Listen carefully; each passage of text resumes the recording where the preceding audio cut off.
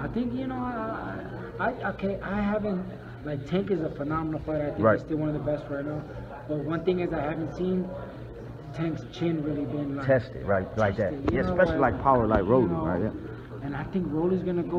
Rolly throws hard as Oh no, exactly, bro. I seen him sparring in. City. I seen him sparring everywhere, bro. Yeah. fights, Yeah. Oh yeah. Even in his last ah, fight with ah, Yiggy, yeah. He throws them. fucking- Mean punch, and he He's rough in there, like you was saying. Yeah, he, we're gonna Right, yeah. He's gonna land one. And I think it comes down to if the officials is gonna let him do, get away with a lot of that. They Is they will, gonna not? Okay.